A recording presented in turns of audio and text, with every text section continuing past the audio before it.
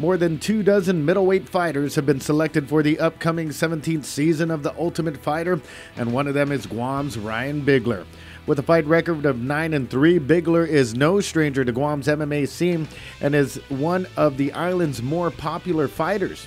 PNC Sports spoke with Melchor Manibusan about Bigler's appearance. Nah, he was all for it. We uh, just us, like you know, knowing already that he fights at 170. You know what I mean? And he was ready fighting I think it was 185 or 190 or whatever uh, that that weight class is. I forget.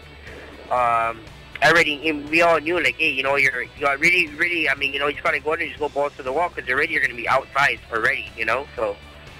So he was he was he was okay with that, and even knowing that, it was it was kind of like you know more fuel to the fire because it's kind of like yeah, you know I'm gonna be the you know, more, you know, more than most likely, I might be the smallest guy there. So he was, he was happy about it. You know what I mean?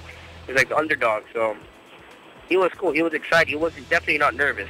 TUF debuted in 2005 and has produced more than a thousand UFC fighters and three eventual champions. The two hour season debut is airing January 23rd, Guam time on FX.